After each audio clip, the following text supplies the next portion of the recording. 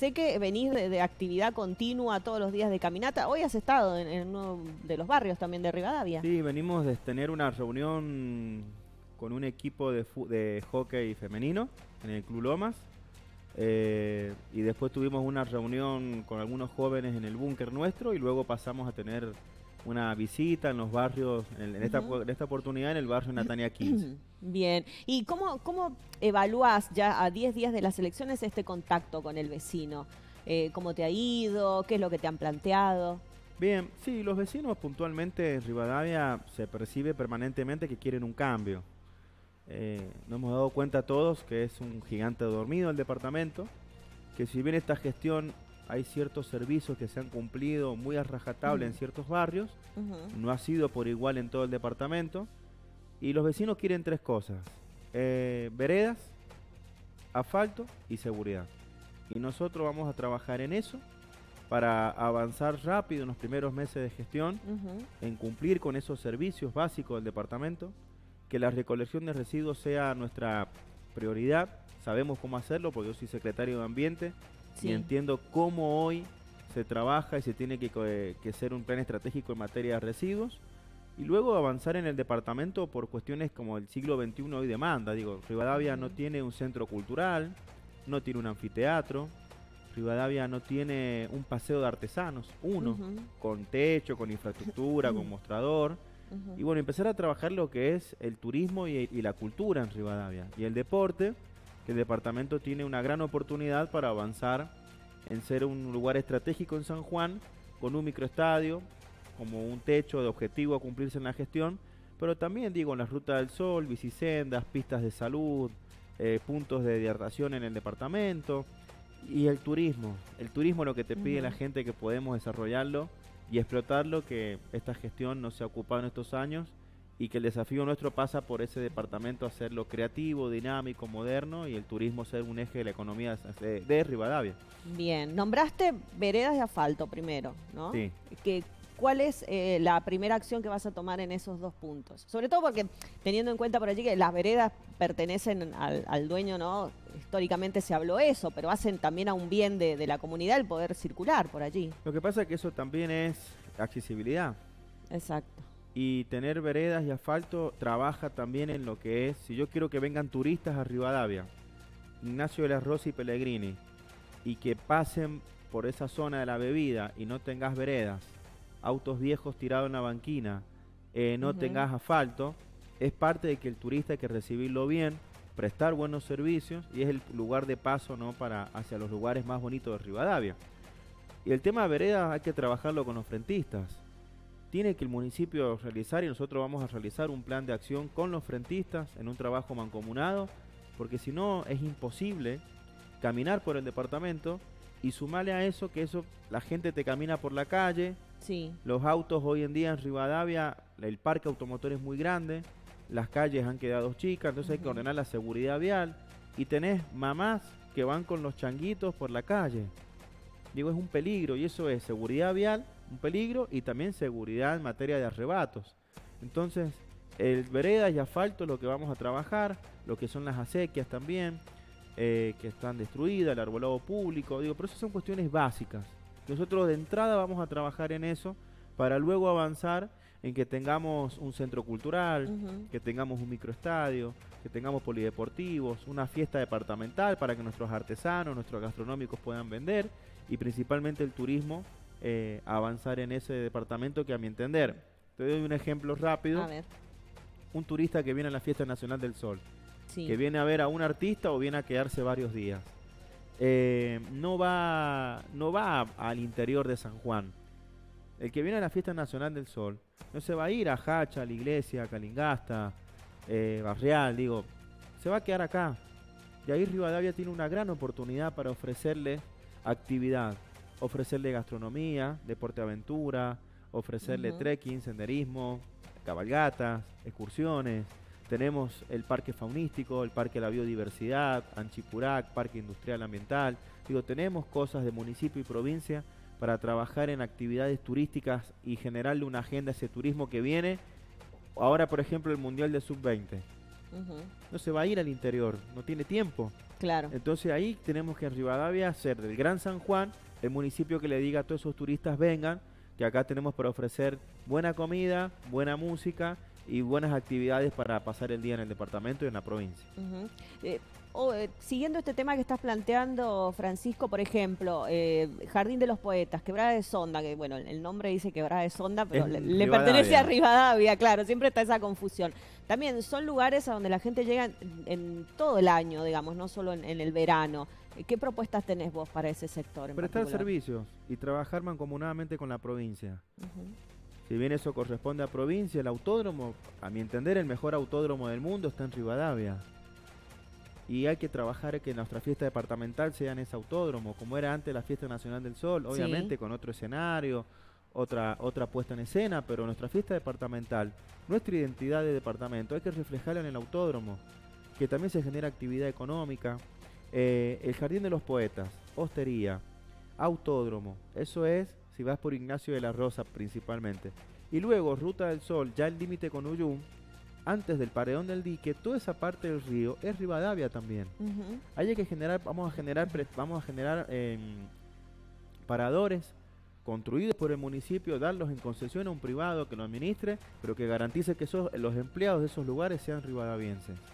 Bueno, ahí vamos a tener, tenés muchos terrenos del ejército abandonados también, hay que hacer las gestiones políticas para que hagan las donaciones el Ejército Nacional al municipio, eh, generar actividades, ordenar el departamento.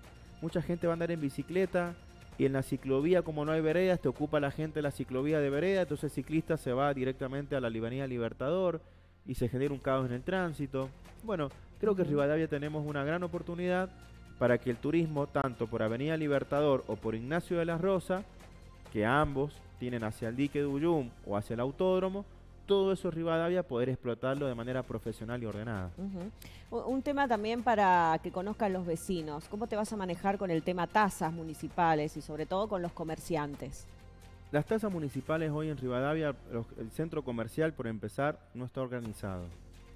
Tenés arterias como la avenida, la calle Calíbar, como es la República del Líbano, la Comandante Cabot, eh, Avenida Libertador, que es la zona comercial por excelencia en el departamento, que hay que generarles promociones a los vecinos que estén al día con los impuestos para que tengan descuento en esos comercios, a las inversiones que vengan nuevas a Rivadavia, también generar un sistema de promoción de tasas municipales por un cierto lapso, eh, para que se animen a invertir, a generar empleo. Pero tenemos que trabajar en los centros comerciales en Rivadavia, no tenemos hoy en día.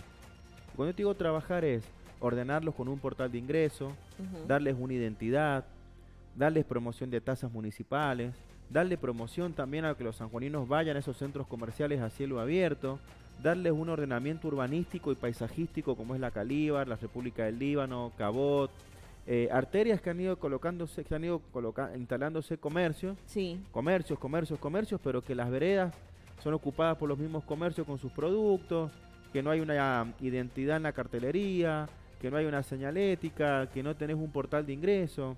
La zona comercial de la bebida, por ejemplo, de calle Pellegrini hacia comercio, pasa lo mismo, está desorganizado. La calle Calíbar, que es el poco el corazón del departamento, donde está el municipio ahí cerca, hay un problema con el estacionamiento, con el tránsito. Eh, digo, Rivadavia ha crecido mucho y todo esto desemboca en que no tenemos un ordenamiento territorial. Entonces, de entrada hay que trabajar en eso. Determinar cuáles son los centros comerciales, el ordenamiento vehicular, del tránsito, la seguridad vial, los cinturones verdes, los cinturones comerciales, dónde se pueden instalar barrios privados o del IPB en el departamento.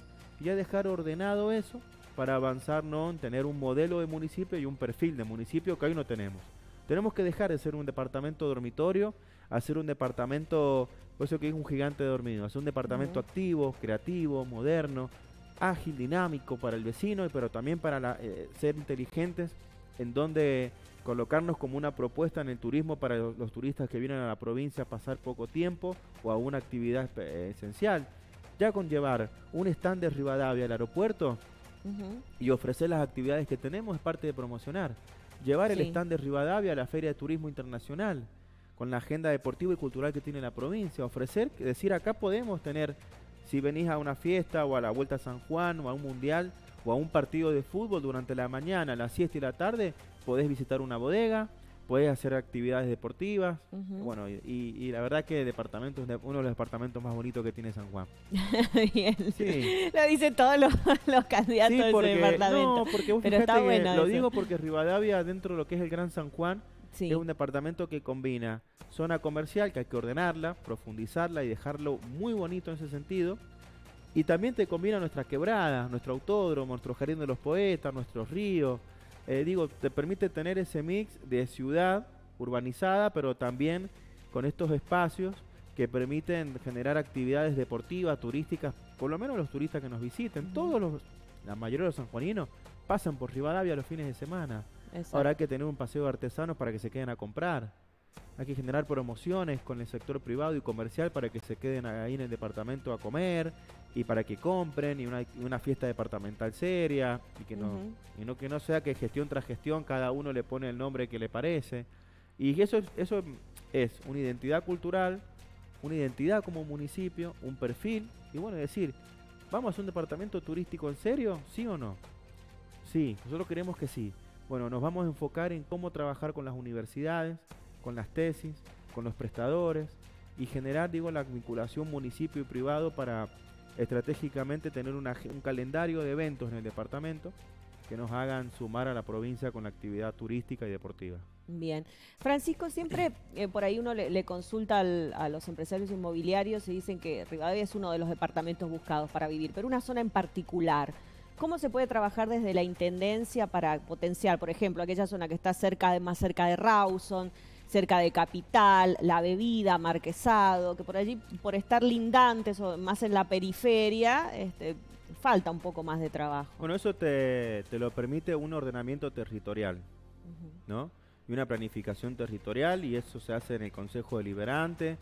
Y es lo que hizo Uñac en Posito cuando asumió. Establecer rápido a dónde se pueden eh, generar barrios nuevos, cuáles van a ser nuestros cinturones, como te contaba recién, nuestros cinturones verdes. Rivadavia, como viene avanzando, vamos camino a no tener espacios verdes, que no es una plaza reciclada como hoy dice la gestión actual que es. Digo, pulmones verdes, espacios verdes. Hay que proteger a, nuestro, a nuestro territorio, que podamos ser en un futuro también espacios verdes en el departamento y después obviamente que vengan inversiones privadas, inmobiliarias, me parece bien, ¿sí? Porque eso implica inversión, implica trabajo. Ahora, coordinar con el municipio con el tema de prestación de servicio. Porque si no, Rivadavia lo que ha pasado ahora es que ha venido creciendo, avanzando, avanzando, con barrios del IPB o barrios privados, y tenés hoy la situación del caos vehicular, lo que te demorás de Rivadavia hacia el centro es tremendo, no están sincronizados ni los semáforos. Y esas son cuestiones también de gestión del intendente. Y Yo me comprometo con los vecinos de Rivadavia a hacer gestiones también en los ministerios nacionales para conseguir recursos al municipio. ¿Sí? Vos imagínate que Rivadavia hoy en día no tiene salas velatorias. Y lo planteo como un servicio básico que ni siquiera esta gestión ha logrado resolver. Mm, Y no te estoy planteando un centro cultural o un microestadio, una sala velatoria. Digo, es, es, es tremendo, digo, por eso los vecinos de Rivadavia nos hemos dado cuenta que podemos estar mucho mejor de lo que hoy estamos y que podemos dejar de ser un departamento dormitorio para ser un departamento activo, creativo, dinámico.